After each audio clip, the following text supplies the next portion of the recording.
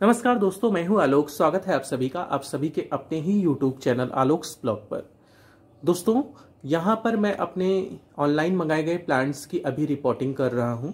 यहाँ डेफन बाकिया को मैंने रिपोर्ट कर लिया है और उधर ट्रायंगुलर फाइकस जो है उसकी कुछ पत्तियाँ गिर गई थी, कुछ क्या सारी गिर गई थी, लेकिन दो तीन दिन रखने के बाद अब उसमें काफ़ी सारी पत्तियाँ जो हैं, वो आ चुकी हैं, आपको दिख रहा होगा। कई सारी पत्तियाँ जो हैं, अब इनके अंदर आ चुकी हैं। तो उसको मैंने रिपोर्ट कर लिया है और यहाँ इसको रिपोर्ट किया है। और अभी मैंने जो है, अपने एग्लोनिमा को जो है रिपोर्ट नहीं किया है। हो सकता है मैं उनको कल तक रिपोर्ट करूँ। बाकी जो है, यहाँ पर अल्पीनिया को मैंने रिपोर्टिंग के लिए रखा हुआ है। आप लोगों को लग रहा होगा मैंने इसको पानी में भिगोकर क्यों रखा है? क्योंकि ये इसकी जो सॉयल थी, ऊपर तो इसमें पूरा जो है जो रूट बॉल बनाई गई थी इसकी क्योंकि ऑनलाइन जब शिपिंग होती है तो उसमें कई कई दिन लग जाते हैं और आपका जो कोकोपीट होता है, वो मॉइस्चर को बहुत अच्छे से होल्ड करके रखता है। तो कोकोपीट की बॉल बनाकर उसको ऊपर से जो है जूट के धागे से लपेटा गया था। तो इस वजह से जो है मेरे प्लांट अच्छी कंडीशन में जो है मुझे मिल गए थे। थोड़ी बहुत जो है, चूँकि बंद होने की वजह से पत्तियाँ बिल्कुल जो है इस तरीके से सिकुड़ जाती हैं तो ये पीलापन उस वजह से कहीं कहीं पर है। बाकी ये कुछ दिनों में अपने आप को पूरी तरीके से ठीक कर लेंगे। इनके अंदर वेरिएशन भी आना शुरू हो गया है। जब मैंने इनको ओपन किया था तो वेरिएशन कम थे। वाइट कलर का ये जो हर पत्ती पे आपको स्पॉट नज़र आ रहा होगा आप उस टाइम पर कम था। और धीरे धीरे ये जब और ज़्यादा हो जाएगा तो देखने में काफ़ी ज़्यादा अच्छा लगेगा। इस प्लांट को सेल जिंजर प्लांट के नाम से भी जानते हैं। और यहाँ पर मैंने जो इसको पानी के अंदर इस वजह से डाला था क्योंकि रूट बॉल को ओपन करने के बाद यहाँ पर चिकनी मिट्टी जो है वो लगी हुई मुझे दिखी। चिकनी मिट्टी बिल्कुल साबुन के जैसे चिकनी एकदम होती है। यहाँ पर जो है आपको देखने में ये चीज़ महसूस भी होगी कि ये मिट्टी जो होती है, वो इस तरीके से रूट्स में लग जाती है। देखिए, मेरा हाथ जो है वो बिल्कुल ऐसे करके जो है चिपक सा रहा है, बिल्कुल गम जैसे। तो रूट्स में अगर ये लगी रह जाएँगी तो ये रूट्स को बाउंड करके रखेंगी, यहाँ तक कि जो है रूट रॉट का भी के लिए भी कारण बनेगी।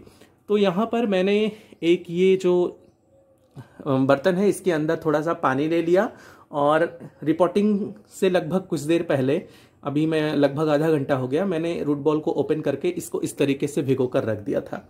जब भी आप जो है क्ले सॉयल के अंदर आपको प्ला, प्लांट मिले नर्सरी जाइए तो मिट्टी को ज़रूर चेक कीजिए और घर पर लाइए तो भी मिट्टी ज़रूर चेक कर लीजिए। अगर आपका प्लांट जो है इस तरीके की चिकनी मिट्टी या क्ले सॉयल के अंदर लगा हो तो आप इस तरीके से इसको धोकर अच्छे से हटा ज़रूर लीजिए। अभी चूँकि बारिश का मौसम चल रहा है तो शौक में जाने के प्लांट्स के चांसेस कम ही होंगे। तो इस टाइम पर अगर आप इस मिट्टी को हटाएँगे तो प्लांट्स आपका खराब नहीं होगा। बाकी जब गर्मियाँ बहुत ज़्यादा तेज़ हों या फिर जो है सर्दियों के अंदर तो वहाँ पर थोड़ी सी सावधानी बरतने की ज़रूरत है। आप जो है पार्सली मिट्टी को मतलब इतना ही हटाकर जो है वो छोड़ सकते हैं। वहाँ पर ये अपने आप को ठीक कर लेंगे।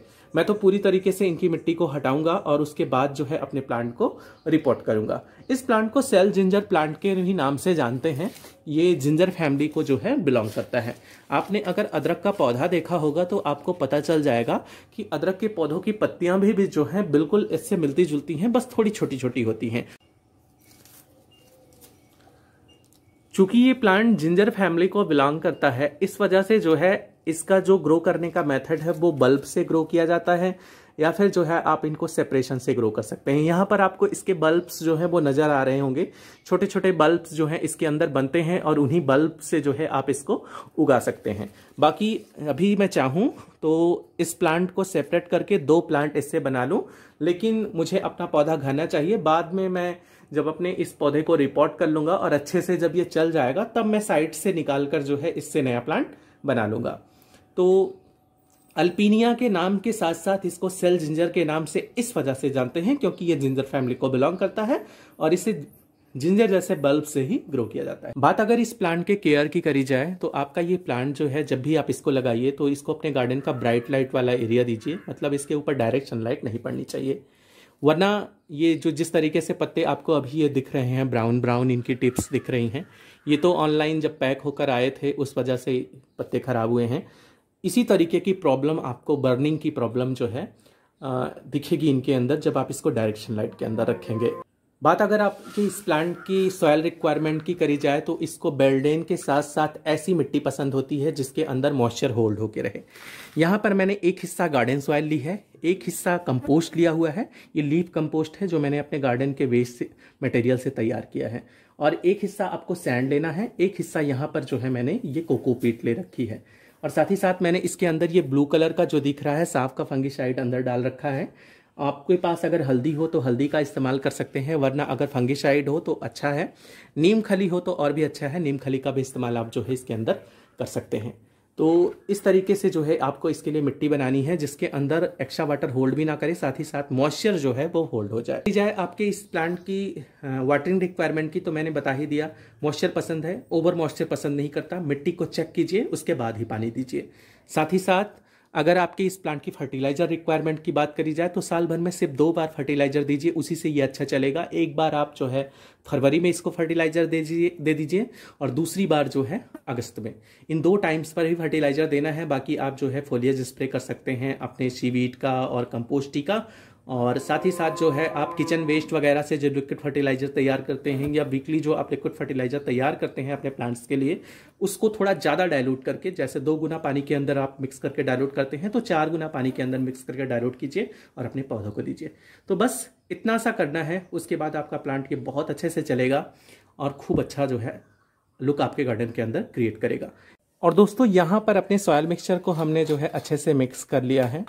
और मिक्स करने के बाद जो है, यहाँ पर देखिए, चिकनी मिट्टी को भी मैंने लगभग लगभग हटा लिया। थोड़ी बहुत बची है तो कोई दिक्कत नहीं होने वाली। इसको रिपोर्ट करने के लिए मैंने ये टेन इंच का प्लास्टिक का पॉट लिया है। ढेर सारे ड्रेनेज होल इसके अंदर देखिए बने हुए हैं।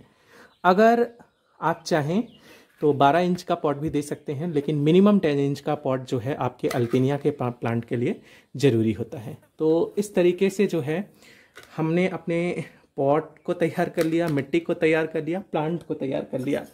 अब जो है, हम यहाँ ठीकड़ियाँ रखकर जो है, इस तरीके से इन सारे ड्रेनेज होल को जो है, वो कवर करेंगे, जिससे मिट्टी ना निकले और हमारा जो ये